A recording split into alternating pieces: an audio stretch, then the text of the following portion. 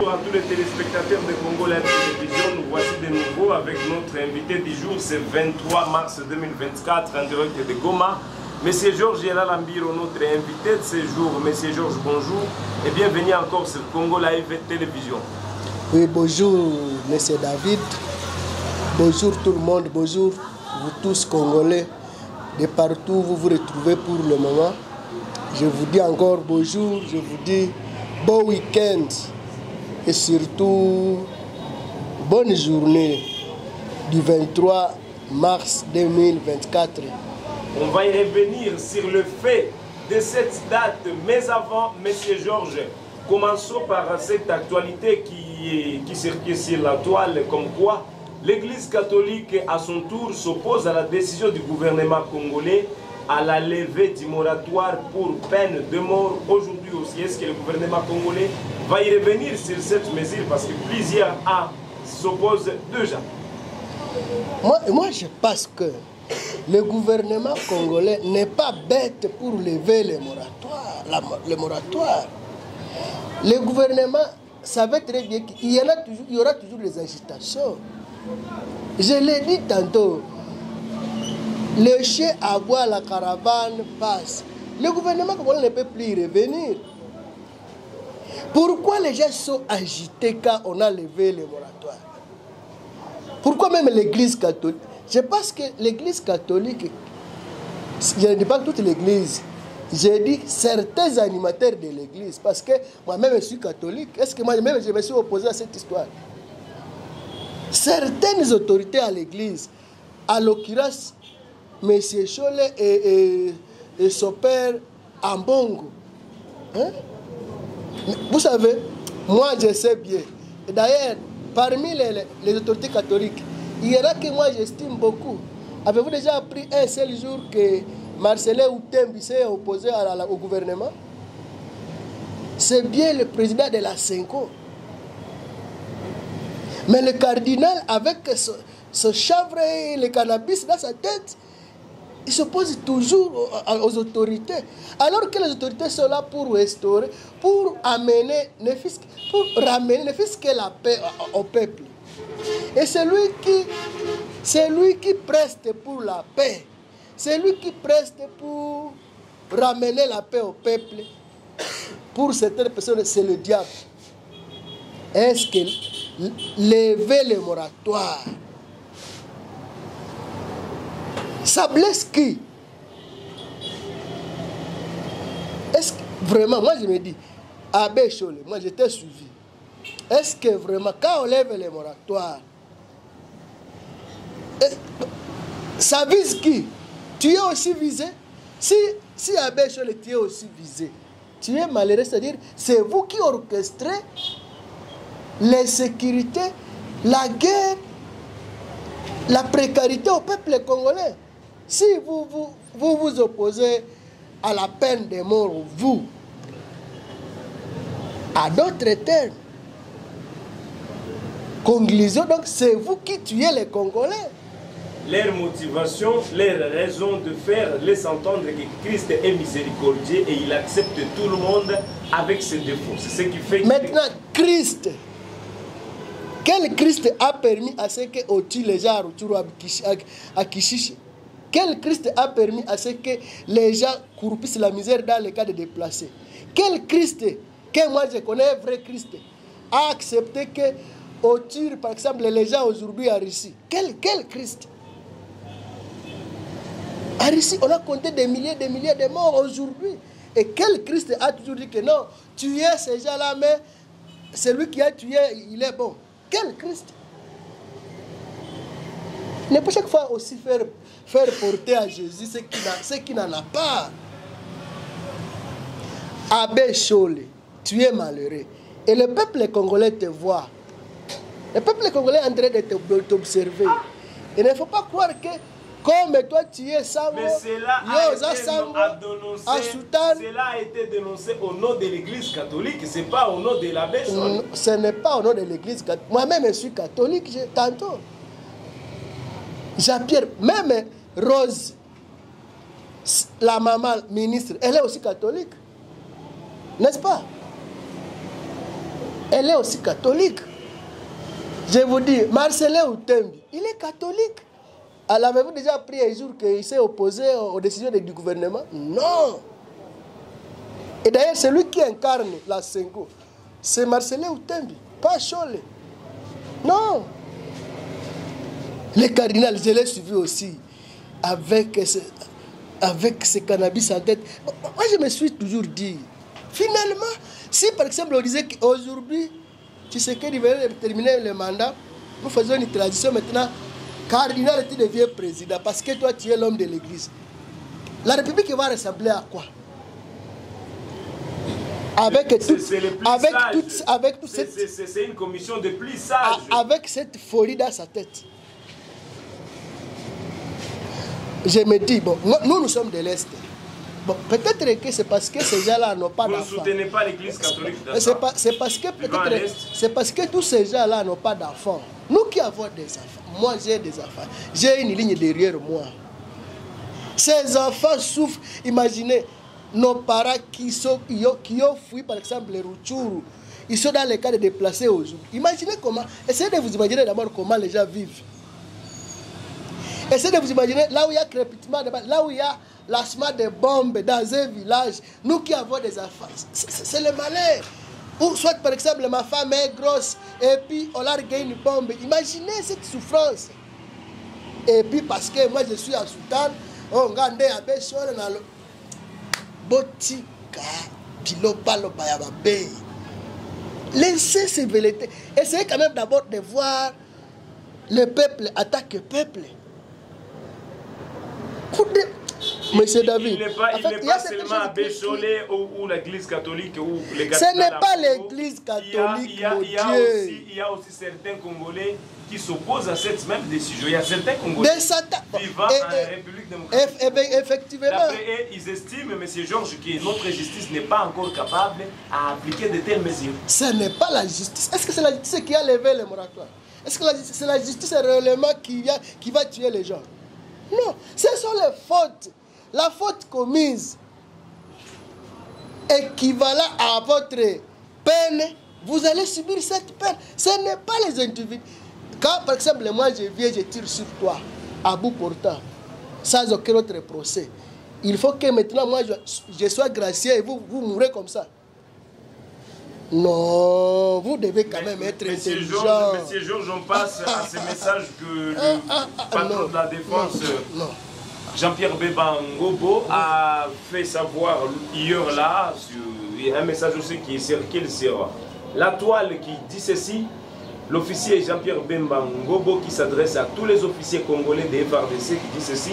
L'officier ne ment pas, l'officier ne triche pas, il ne vole pas, il ne détourne pas, il apprécie, il assume, il ne tourne pas le dos à l'ennemi, il ne trouve, il ne trouve pas de prétexte pour s'éloigner de sa mission euh, de défense, il doit y faire face. Est-ce que ça, il prévient déjà le- les officiers congolais face à toutes ces infractions reprises de- de- de- dans ce mandat pour mort Non, non, ce n'est pas. D'ailleurs, ça n'a pas de corrélation avec la Qu'est-ce peine. qu'il voulait faire passer? Donc, Qu'est-ce- il est en train de prêcher les, les- les officiers à la prestation normale d'un officier. Il est en train de faire ce qu'on appelle, nous appelons cela l'éthique et déontologie d'un officier. Ça, c'est l'éthique. Il dit, vous devez, vous devez vous habiller de votre éthique, de votre morale, de votre mission. Alors, vous savez, quand Jean-Pierre Bemba dit ça, il est en train de prévenir aux officiers de ne jamais céder aux antivaleurs dans l'armée. C'est aussi bien.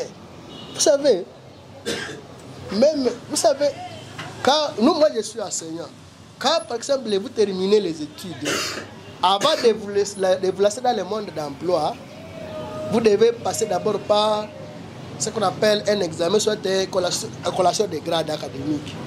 On vous donne la conduite à suivre dans la société.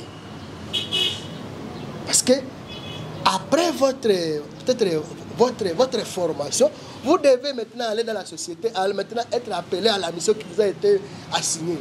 Maintenant, avant de commencer, on, doit- on doit que vous préparer que là où vous allez, il y a aussi des problèmes. Maintenant, ne, ne cherchez pas à céder aux- aux velléités au lieu de ce que vous devez faire comme mission. Les officiers, vous savez, moi j'ai dit, moi j'ai dit, Tshisekedi a été envoyé par Dieu. Tous ces discours que nous sommes en train peut-être de, vivre aujourd'hui n'ont pas été vécus dans les régimes passés. À quelle date, par exemple, un ministre de Kabila aurait déjà prononcé de tels discours devant, devant ses officiers? Ça n'avait jamais arrivé. C'est-à-dire aujourd'hui, on est en train maintenant de faire renaître la société tout entière. Donc, c'est la refondation de l'État comme les autres l'ont toujours dit. On est en train de refondre l'État, la nation congolaise. Imaginez par exemple un officier, à cause de sa mission d'officier, il prend l'argent de l'ennemi alors que c'est lui qui est censé protéger la nation. Automatiquement, c'est lui qui il devient aussi ennemi. Alors, même à ce même point, M. Georges, j'en profite pour euh, demander ceci. Il y a 11 officiers qui ont été présentés à la Cour militaire du Nord Kivu ici, qui sont en train de, de comparaître euh, pour faux usage de faux, détournement des rations de, de- de militaires, détournement de... Fuite devant l'ennemi, violation des consignes, Les gens qui critiquent la justice, les gens qui critiquent le gouvernement congolais, tout le reste, est-ce qu'il y a une cohérence? Qu'est-ce qu'il faut noter lorsque l'État fait autre chose? Et que d'autres critiquent autre chose Qu'est-ce qu'il faut noter là-bas vous savez, vous voyez, par exemple, vous même- vous même venez d'évoquer quelque chose. Aujourd'hui, on est en train d'assister à un procès des officiers qui ont fait un manquement grave à leur mission. Et maintenant, tous ces gens-là, quand, quand un officier de la défense manque à sa mission, c'est le peuple qui abattisse. C'est le peuple qui en souffre. Alors que l'officier de la défense a pour mission de protéger ce même peuple. Si par exemple, dernièrement, quand vous arrivez par exemple à Chacha, à Ngungu, je sais pas, à Sake, et qu'il y aurait un officier qui aurait par exemple pris l'argent de l'ennemi pour exposer le peuple. Et maintenant pour les autres, il faut laisser ces gens-là parce que, bon, comme ils ont pris l'argent de l'ennemi et ils, abandonnent le peuple, pour les autres, non, il faut les laisser vivre longtemps, le plus longtemps possible. Et la peine de mort n'est pas une fabrication congolaise. La peine de mort, elle date même à l'époque de Jésus, même à l'époque de, de, de, de- d'Abraham. Est-ce que c'est la seule solution À l'époque, à l'époque d'Amorabi, il y avait œil pour œil, dent pour dent. N'est-ce pas? Est-ce que c'est l'heure de ceux qui auraient fait ça? Il y a de cela plus de 5000 ans. Les gens doivent. Vous savez, si nous on revient là-bas, c'est parce que la République réellement, elle est en train de vivre la vie la plus mauvaise de son histoire aujourd'hui. Et c'est là, à cause de certaines personnes qui ne veulent pas réellement comprendre que le peuple congolais a droit à la paix comme tout le monde dans- sur cette terre. œil pour œil, dent pour dent. Moi, je disais tantôt la fois passée, à une grosse pierre, un gros marteau. Vous tirez sur quelqu'un, par exemple, le Koulouna à Kinshasa. Un Koulouna, il vient avec sa machette, il vient dans ta maison, il te coupe la tête. Et puis, maintenant, voulez dire, comme le Koulouna a coupé la tête, il faut le laisser vraiment le garder quelque part. Non. Est-ce que réellement ce qu'il a fait? Quand il tue, quand il coupe la tête de quelqu'un, c'est autorisé. Ce n'est pas, cette personne-là n'a pas été créée par Dieu. Chole, Salakeba. On en a marre avec vos histoires là. Aujourd'hui, la République vit une période la plus mauvaise. Surtout nous qui sommes à l'Est. Nous, ça fait presque 30 ans, on nous tue jour et nuit. Je pense que Chole, Ambongo, avec vos droits de l'homme, là et l'Europe, ont toujours vécu ce que nous vivons à Beni, par exemple. Et quand vous arrivez à Beni, vous trouvez tout un village égorgé. Et quand on met la main sur quelqu'un, celui-là qui a égorgé tout un village, non, il faut les laisser à vie. Mais finalement, finalement, vous voulez quoi? Il faut voir comment, à Beni, au massacre, on prend même un bébé de 3 mois, on le prend, et on, on coupe sa tête par un couteau. C'est comme si on égorgeait une, une cobaye. Et puis vous dites, maintenant celui-là, quand on a mis la main sur lui, non, il mérite quand même parce que la vie est sacrée. Et la vie qu'il a, qu'il a ôtée à cette personne-là n'était pas aussi sacrée. Moi, je On, on- on finit, Vraiment, on, on finit par ceci. on, finit par ici, Monsieur. Georges. euh, Aujourd'hui, le 23 mars 2024. Depuis la matinée de ce 23 mars 2024, des rites d'affrontement entre le Ouazalendo et le M23, M23 pardon, sont signalés à Kivouye. Mais sur l'axe Minova Kichanga, la situation est très calme. Les rebelles du M23 voudraient bien aujourd'hui d'après leur publication sur euh, plusieurs euh, plateformes, qu'ils doivent marquer ces jours comme c'était aussi une date de la création de leur mouvement qui d'après eux estime qu'il viendra libérer l'Est de la République. 23 mars aujourd'hui. Qu'est-ce qu'il faut parler? 23, optique, il faut savoir qu'il faut prendre même Kinshasa, 23 mars aujourd'hui. comme toujours. Il arrivera Le Kinshasa. 23 mars 2009, le 23 mars 2024. Une mauvaise histoire et une bonne histoire. Je passe une très mauvaise histoire. Tout le monde, tout le monde, sans exception, qui fait béquille au M23, il est maudit. Il restera l'ennemi du Congolais jusqu'à la fin de, toutes les générations. Vous, vous savez, depuis toutes ces dates-là, nous de l'Est, nous avons enterré des mamans, nous avons des, des- des handicapés physiques, nous avons beaucoup d'histoires que nous avons vécues à cause de cette date-là. Et ces amis ici, qu'il neige, qu'il pleuve, qu'il fasse jour ou nuit, ou nuit ces, gens payeront de leurs fautes. Ils payeront. La peine de mort est déjà réhabilitée. Mais aussi, à part même cette peine de mort, même ceux qui fuiront ce pays, ils payeront toujours là où ils iront. Ils ont ôté les vies, les vies humaines d'une manière gratuite, sans motif, des innocents qui ont succombé parce qu'il y a eu une date qu'on appelle le 23 mars. soutenu par certains Congolais. Ça, il faut préciser. C'est, je, je parle de ces gens-là. Ce sont, les personnes dont moi je suis en train de parler. Tout le monde qui a servi ce M23, il payera cher. Encore très mauvais cette histoire. Nang, ne croyez pas que toi tu es, tu es Congolais plus, peut-être plus risé ou peut-être plus intelligent que tout le monde. D'ailleurs, tu es le moins intelligent. Tantôt, en, en- en 2019, tu as proclamé quelqu'un, le lendemain, tu lui fais la guerre. C'est la malédiction. C'est la malédiction. Et ne croyez pas que tout ce que tu fais là-bas, non, ce sont des droits. Non, tout le monde a, a ses droits. Mais Nanga, avec tout ton staff, vous, mourrez- vous, ne- vous n'avez plus de parcelles dans cette république. La parcelle du pouvoir, parcelle des espaces physiques. Donc, pour vous, vous serez poursuivis. Tous les pouvoirs qui s'installeront vous poursuivront. Vous avez trahi la nation. On a pris les armes contre la République. Il a trahi la nation. Et le jour où on mettra la main sur lui, c'est le couteau qui, qui va planer sur sa gorge. Ça, je vous dis, c'est juste. On ne peut pas accepter. Imaginez, Nanga, quand tu étais avec Kabila, quand le 1-23 te fait la guerre en 2012, 2013, non, le 1-23 était mauvais. D'un coup, en 2022, 2023, tu pars rejoindre les mêmes ennemis que tu appelais ennemis. Tu es malheureux, tu es maudit. On finit. On Tu finit. es maudit, On Nanga. finit, on comprend votre frustration.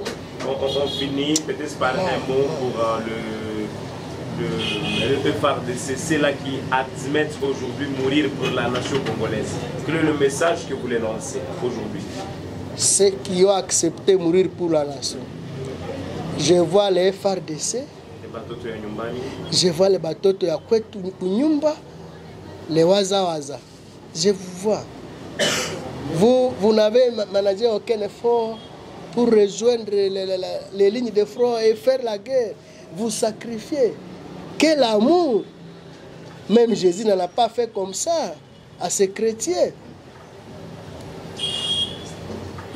FRDC, surtout vous qui êtes encore des loyalistes, pas vos généraux corrompus là, mais vous qui donnez votre vie pour cette nation, vous êtes le plus heureux.